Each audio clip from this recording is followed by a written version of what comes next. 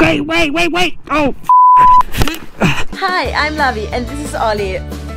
We are attempting a new world record to become the youngest pair to circumnavigate the globe by motorcycle. Click the subscribe button to follow our adventure around the world. See you later.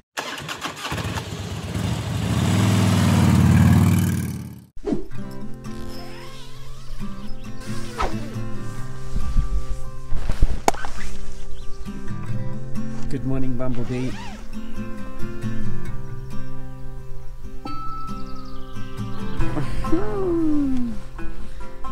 it was very cold last night.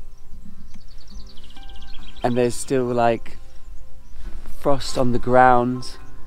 I don't know if it's frost. Might be just dew. But it was still pretty cold last night. I think it was a little bit too cold uh, for camping. But I've said that before nearly every time. but the sun is out now.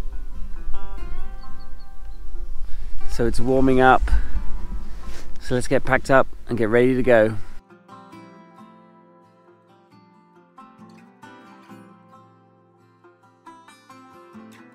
Good morning world, welcome back to the channel. It's day number 26 on our around the world tour. The sun is shining.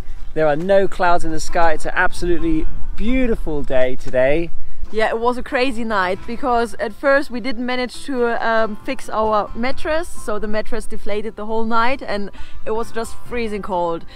Also, I think we could hear some uh, dogs barking. Maybe they had some fights or something. I have no idea. Then we could hear that some like little creature sniffed around our tent.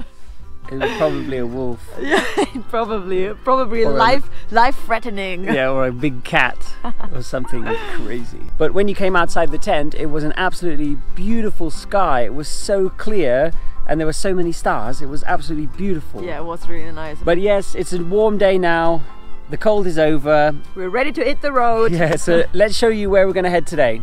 We are here at the start of the Park Natural Sierra Norte de Guadalajara, and we are going to be making our way all the way down through the park towards Guadalajara, and we are going to continue a little bit further south to try and find a Airbnb or homestay or something just to the east of Madrid.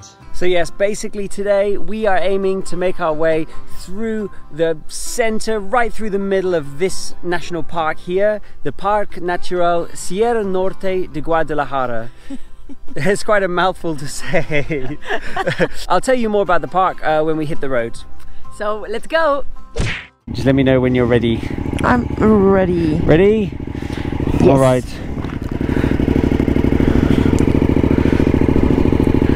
Up. Okay. Up. Up, up, up, We're going over. It's okay.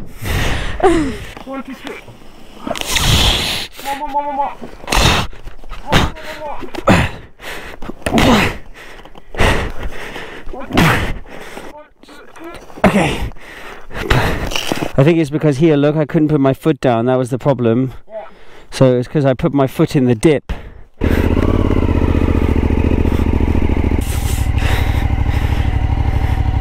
Okay. This is a bit more flatter and easier grass right now. Sierra Norte de Guadalajara.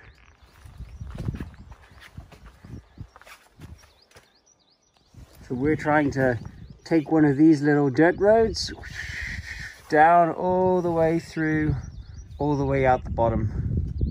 All right, we've checked the map. We kind of know the direction we want to head in. And we are heading into the Sierra Norte. this way. Just have to avoid the potholes. This natural park is apparently home to wolves and a couple of species of cats. Not like domestic cats, but like wild cats. But not as big as a lion, but still quite formidable if you're a squirrel. And the peaks in this national park reach above 2,000 meters. The national park encompasses like a multitude of different mountain ranges and different peaks and it's sort of a, just a big area encompassing all of that mountainous region and uh, we're pretty much going all the way from the northern end all the way through out the southern end.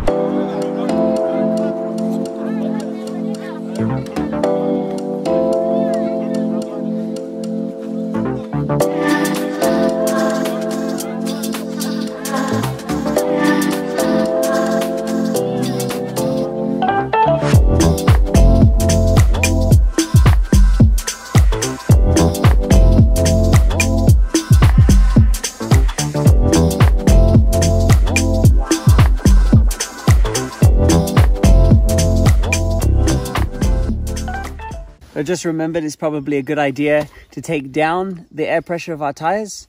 Um, so we are normally running 38, 42, and uh, now we're going to take them down to 34, 38 psi. Um, that'll probably just help us with this sort of like loose, gravelly kind of uh, thing, so we don't keep bouncing all over the place. So we bought this uh, this thing called Recibi. It's um, from Amazon and we just connect it up and it's digital. So then we just turn it on and we can set our desired PSI. So we're currently on 36 on the front. So it's gone down a little bit from 38 and now we're gonna make it 34. So I'm just loosening it off, allowing a bit of pressure out. There okay. we go. 34. So we didn't really need to even use the power from this we just needed to use this to actually deflate the tire and then that was measuring the PSI. So now I move that up to 38.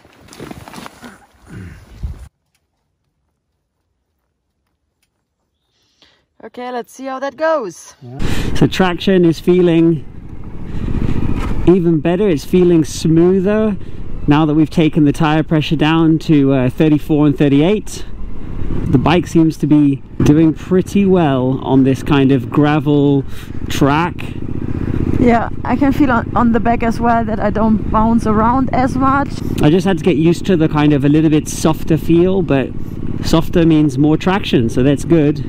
Especially when you've got this kind of loose gravel and we're going up kind of uh, some steepish hills and round corners with bumps. Yeah we're just cruising through this beautiful natural park here. Forested mountains. You know this is the sort of the cool capability that we have. This is an adventure bike. This bike is ready to go on dirt roads. It's ready to go off-road. We just have to be ready to go with it. Quite a big one. Wait wait wait wait. Oh sorry. Ah oh, what did I do wrong there didn't keep going, hey?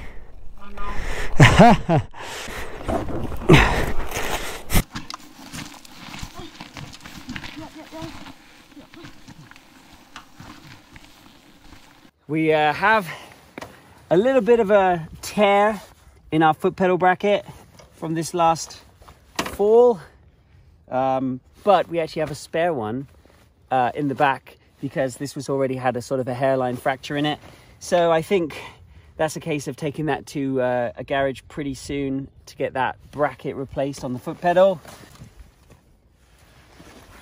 But apart from that, the bike is not broken. We are good to continue. Okay, everything is back upright. It's time for round three. If I see a big dip, I'm gonna really, really, really try to avoid it this time.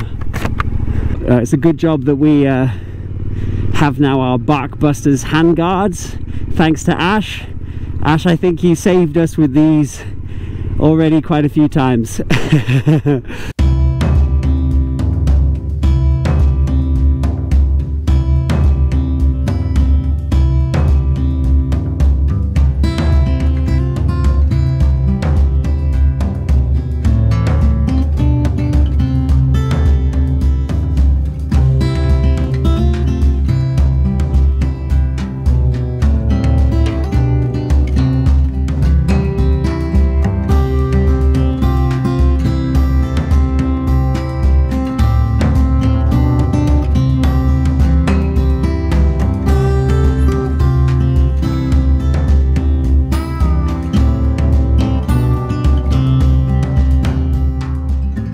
Nice. Yeah, look at this beautiful valley. Wow. Yeah, it's incredible. Wow. Yeah, no houses. Nothing here except mountains and forest. That's very, very cool. And, you know, this is what I think we're all about. Trying to just get out in the beautiful landscapes and have a good day's ride with as little falling off as possible. yeah, we're working on it.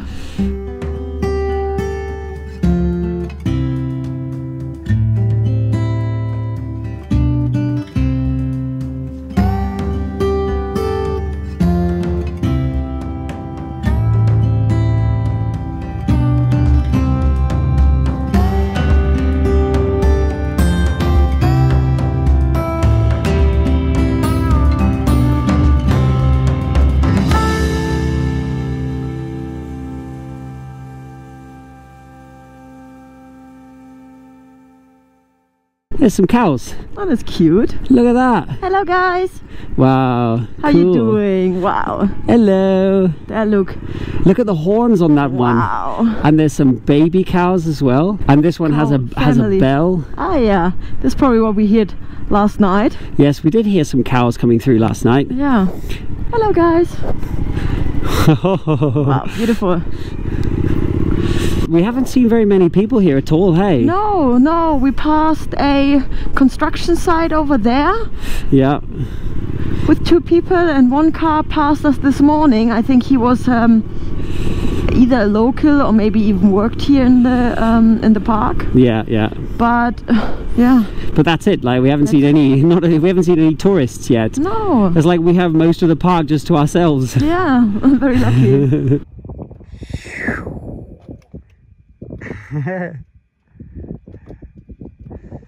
Okay, so we are coming into Mahal Rayo. This is just a small little town in the middle of the natural park. I guess the place was already here before they made it a natural park. Probably just local farmers living here.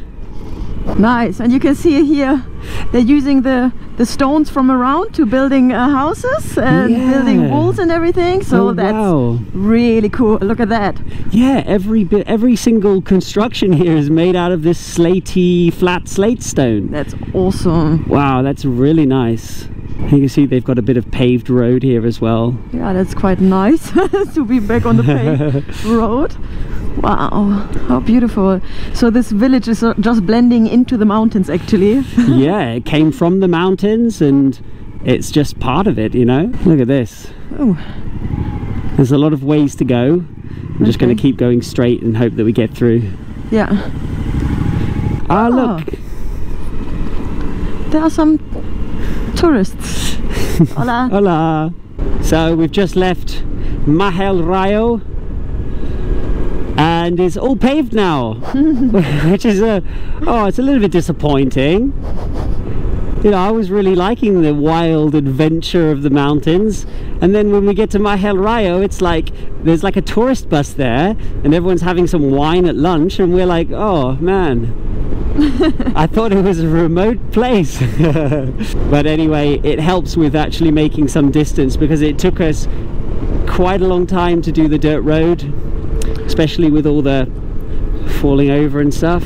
Yes. Yeah, I think uh, two times falling over is uh, enough for today. Anyway, look, we can just appreciate how easy it is and just roll our way through the rest of this park. Yes.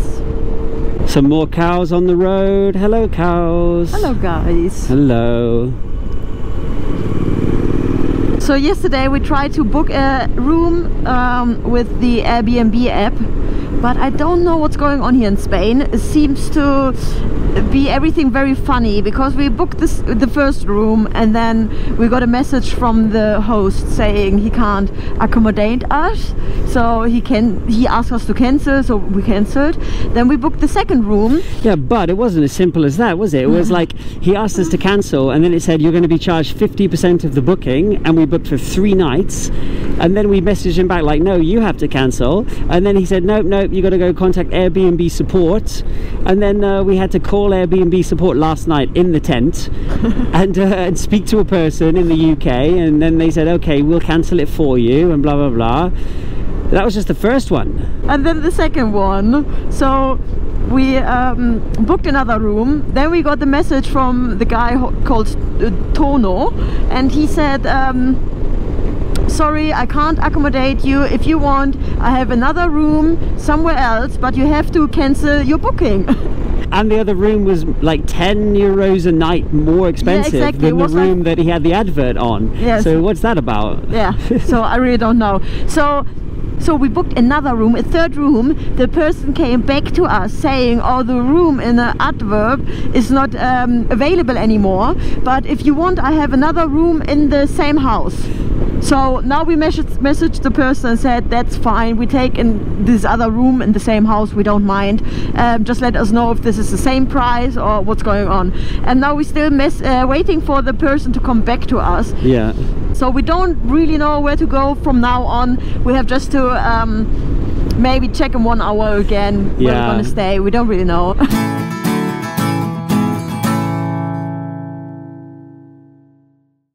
ended up booking a hotel because Airbnb didn't work out. It was like talking to three different people. Everyone was like, oh, I have a room there and you can go there. And the third try was, and then they came back to us, oh, this room's not available. We have another room. And then we asked, is it the same price? And then we, they didn't get back to us for ages. Yeah. So actually we just returned uh, two miles um, and found this place here. And yeah, it's called Hotel Rural Victoria.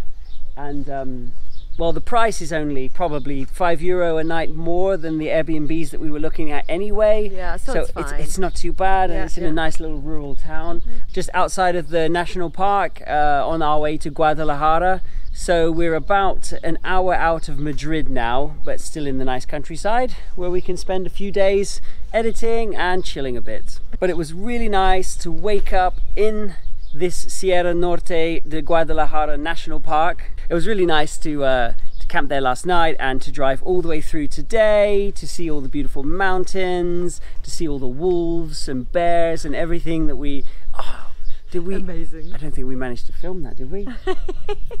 it was uh, yeah, it was really nice to go through, and the sun is shining, and the rain is over for now. So I'm really happy about that. Yeah, it's really cool. It's really cool. It was a really nice day. Really nice driving. A little bit off road, a little bit falling over, but you know we have to get used to it. Um, luckily, we didn't break anything, so yeah yeah exactly so learn from it move on so but we really hope you enjoyed the episode if so give us a thumbs up subscribe to the channel comment below and all of these things we will see you next time